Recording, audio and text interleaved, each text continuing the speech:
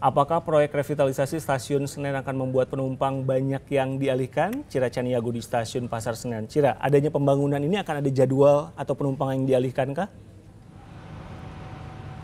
Ya Riko dan juga saudara, betul sekarang ada himbauan dari pihak PT KAI Daob 1 Jakarta bahwa stasiun Jatinegara saat ini menjadi stasiun alternatif.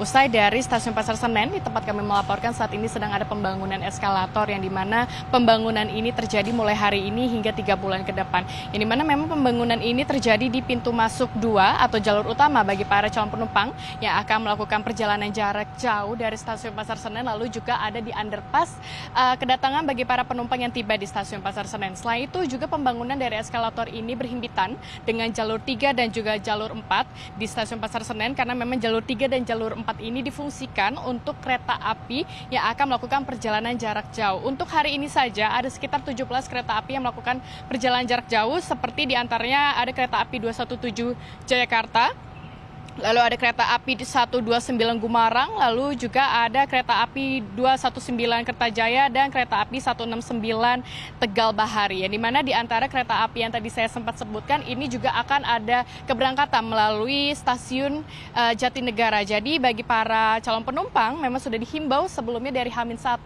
oleh pihak Daob 1 Jakarta bisa melalui dari stasiun Pasar Senen namun harus datang lebih awal dari jadwal keberangkatan atau bisa berangkat melalui stasiun Jatinegara Jatinegara karena emang uh, pembangunan dari eskalator ini akan uh, berlangsung selama tiga bulan ke depan mulai hari ini hingga November 2024 yang di mana ini ada dua tahapan. Yang pertama memang tahapan pertama ini ada di jalur dua di jalur masuk utama bagi para calon penumpang. Lalu nanti tahap kedua ini akan berlangsung di underpass kedatangan bagi para penumpang yang tiba di stasiun Pasar Senen. Dengan begitu perlu diperhatikan bagi calon penumpang jika memang ingin melakukan perjalanan jauh uh, jarak jauh terutama menggunakan kereta api khususnya dari stasiun stasiun Pasar Senen bisa memilih untuk bisa berangkat melalui stasiun Pasar Senen namun datang lebih awal atau bisa berangkat melalui stasiun uh, Jatinegara. Selain itu juga bagi para penumpang yang akan tiba di Jakarta yang akan turun di Daob 1 Jakarta juga bisa memilih untuk turun di stasiun Jatinegara maupun juga di stasiun Pasar Senen. Sementara demikian Riko.